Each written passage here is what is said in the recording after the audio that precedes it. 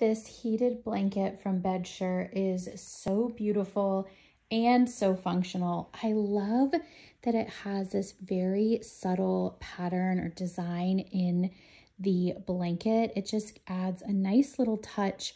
It is so soft on this side and equally as soft on the other side where it has this really nice fluffy Sherpa material. So you get both sides super soft. I love some of the extra features on this. So where you plug in the cord, it has this little snap right here that helps to make sure that it stays in place and doesn't come out. Has this digital remote control, so you just turn it on. You can change the temperature and you can also set how many hours it goes for. So eight hours at six or whatever temperature that you want. This thing is awesome.